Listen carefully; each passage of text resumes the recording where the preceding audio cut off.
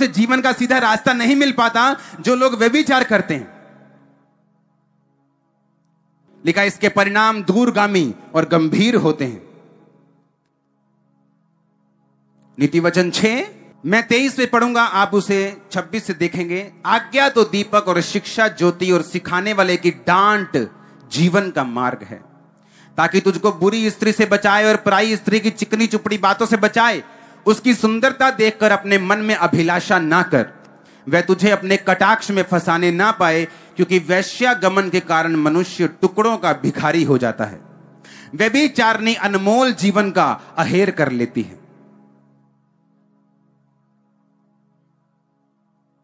मैं ऐसे लोगों को जानता हूँ जिनकी ज़िंदगी में परमेश्वर की योजना थी, कि उन्होंने सेवा करनी थी यहाँ पे बड़े बड़े काम करने थे, लेकिन वे भी चार के कारण मैंने उनको निकाला यहाँ से और वो घरों में बैठे अभी ऑनलाइन देख रहे होंगे। क्योंकि बाइबल क्या कहती वे भी चारनी अनमोल जीवन का शिकार कर लेती बोलो, शिकार कर लेती आहेर का मतलब होता है शिकार करना। कि जो वे भी चारनी एक, ये जो ये जो आत्मा है, अगर आप प्रकाशित वाक्य में देखें तो वे भी चार की एक स्पिरिट है। बाइबल कहती है एक दुष्ट आत्मा है जो हर वक्त परमेश्वर के दासों के पीछे और विश्वासियों के पीछे लगी रहती। आप नहीं जानते, मैं पूरी दुनिया घूमा हूँ। मुझे मुझे मालूम है कौन रियल प्रॉफिट है, कौन रियल अपोस्टल है, कौन रियल पास्टर है, मुझे मालूम है। मैं जानता हूँ लोग कितने धोखेबाज हैं, कितने व्यभिचारी हैं, कितने चोर हैं, मैं सब जानता हूँ। और मुझे मालूम है एंड क्या होगा उनका। क्योंकि बाइबल कहती है वे भी चारणी अनमोल जीवन का शिकार कर लेती। लिखा, क्या हो सकता है कोई अपने छाती पर आग रख ले और उसके कपड़े ना जले? क्या हो सकता है कोई अंगारों पर चले और उसके पाँव ना झुलसे? जो पराई स्त्री के पास जाता है, वो ऐसा ही है। वरन जो कोई उसको छुएगा, वो दंड से ना बचेगा। बत्तीस तैतीस साहित्य को मैं पढ़ूँगा। जो पर स्त्री गमन करता है, वो निरा निर्बुद्धि है। वो अपने प्राणों को नष्ट करना चाहता है, वही ऐसा करता है। उसको घायल और अपमानित होना पड़ेगा और उसकी नाम धराई कभी ना मिटेगी। परमेश्वर ने कहा, जो वे विचार करेंगे, उसका असर क्या होगा? वो आपके मुँह को पकड़ने नहीं आएगा, तू मत कर। लेकिन उसने कहा, तुम्हें घायल होना पड़ेगा, अपमानित होना पड़ेगा और तुम्हारी बेजती जब तक तुम इस दुनिया में रहोगे कभी नहीं मिटेगी। इमेजिन कर सकते हैं? कहता जब तक तुम इस दुनिया में रहोगे लास्ट टाइम तक, वो बेजती तुम्हें फॉलो करेगी। कभी तुम्हारे बच्चे से देगी, कभी तुम्हारे ताया से देगी, कभी तुम्हारे बिज़नेस से देगी। हमेशा तुम्हारी इंसल्ट होती रहेगी जब तक तुम धरती पे रहोगे। और जैसे ही आप आज इस पाप की क्षमा मांगेंगे और दुनिया में दोबारा इसको ना करने का वायदा करेंगे, इज़्ज़त आज से आपको फॉलो करेगी। आप चाहे क्रिश्चियन हो, चाहे नॉन क्रिश्चियन हो, चाहे नए हो, चाहे पुराने हो, परमेश्वर सेकंड चांस देने वाला परमेश्वर। मज़ाक करते लोग अपनी ज़िंदगी के साथ। एक बार गिर गए, माफ़ी मांग ली, फिर गिर गए, क्या ड्रामा चल रहा है ये? तुम्हारी ज़िंदगी ज़िंदगी नहीं है, तुम जोकर हो स्पिरिचुअल जोकर हो तुम, और तुमने सर्कस चला रखी।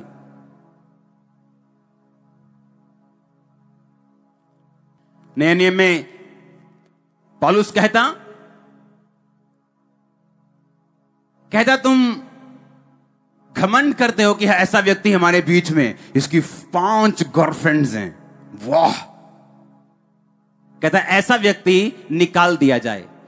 शरीर के विनाश के लिए शैतान को सौंप दिया जाए।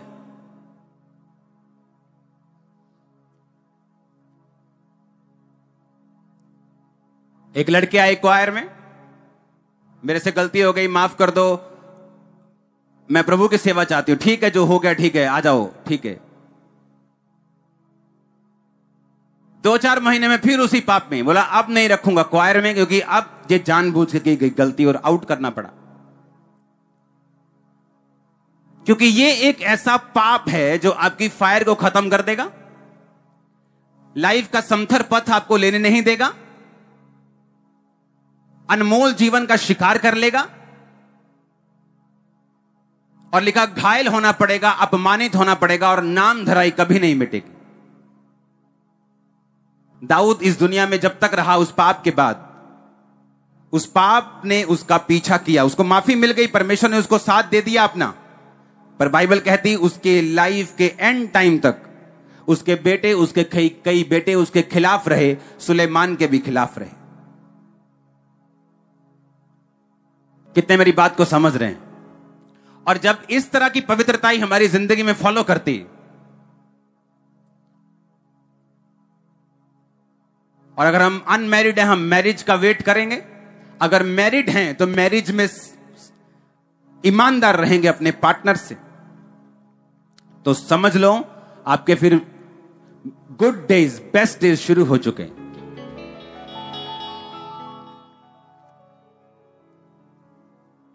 क्योंकि बाइबल कहती है, इसके परिणाम दूर वाले इसके परिणाम कौन से हैं? दूरगामी और गंभीर।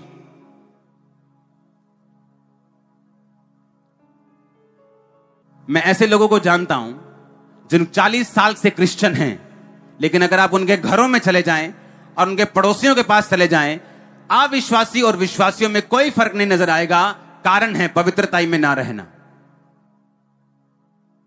क्योंकि यही पवित्रताई है जो अट्रैक्ट करती है परमेश्वर के फेवर को, जो खींचती है परमेश्वर के मसे को, जो खींचती है परमेश्वर के अन अनइमेजिनेबल जो आप मैं इमेजिन नहीं कर सकते, ऐसा फेवर ऐसी ब्लेसिंग आपके आपके परिवार पे फाइनेंस पे आती क्योंकि आपको लगता है कि मेरी हीलिंग के लिए कोई खास एक मेडिसिन आ जाएगी, या खास कुछ दिन प्रेयर हो जाएगी, लेकिन परमेश्वर आपको वचन के ज़रिए भी हील करते हैं। मैंने लोगों को पाप छोड़कर बढ़ते हुए देखा है, चंगा होते हुए देखा है, आज़ाद होते हुए देखा है। क्योंकि पाप छोड़ने से ही कई बंधन ऐसे हैं जो आपकी ज़िंदगी से आसानी से निकल जाते हैं। वैश्यागमन के कारण लिखा, मनुष्य टुकड़ों का भिखारी बन जाता है।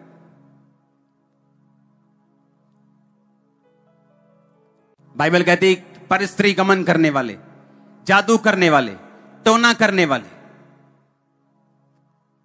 व्यभिचार करने वाले परमेश्वर के राज्य के वारिस नहीं होंगे।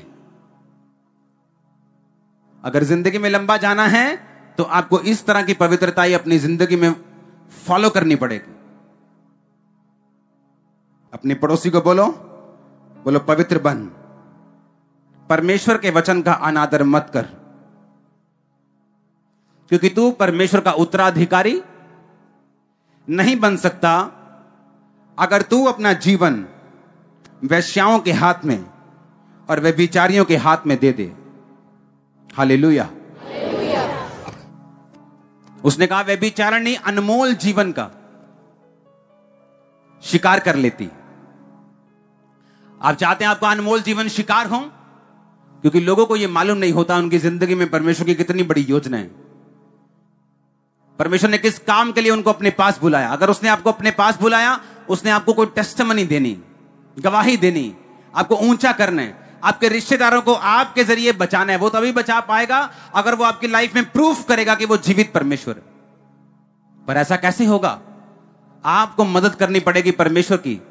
आपको कॉपरेट करना पड़ेगा परमेश्वर के साथ। आपको उसके वचन पे चलना पड़ेगा ताकि आप सिद्ध हो सके और परमेश्वर आसमान की खिड़कियाँ और दरवाजे खोलकर आप पर आशीष की बारिश कर सके। और लोग ये देखकर जान सके कि सचमुच ये वही व्यक्ति जिसे परमेश्वर ने बढ़ाया आपका चरित्र आपके लिए सबसे बड़ी प्रोफेसी आप मुझे अपना चरित्र बताओ, मैं आपको आपका फ्यूचर बता सकता हूँ.